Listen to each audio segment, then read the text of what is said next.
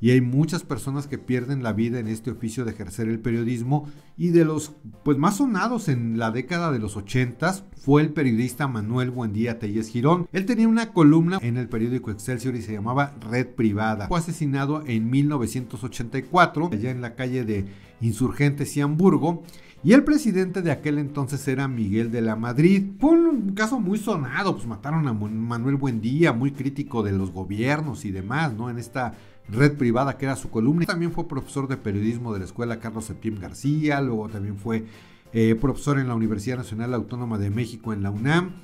Años después se detuvo a José Zorrilla Pérez, que era el de la extinta Dirección Federal de Seguridad, se le detuvo como pues el presunto autor intelectual de la muerte del periodista Buendía. Lo abatieron a balazos, además le dieron por la espalda, ya saben, de esos asesinatos cobardes.